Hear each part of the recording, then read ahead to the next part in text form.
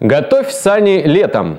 Это же правило касается и зимнего наряда. Тем более в Березники всего лишь на один день приезжает выставка продажа шуб и дубленок.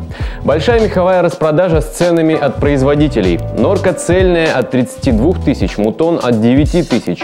Каракуль, нутрия, бобер, модные комбинированные шубки из норки и мутона, а также дубленки из натуральной кожи.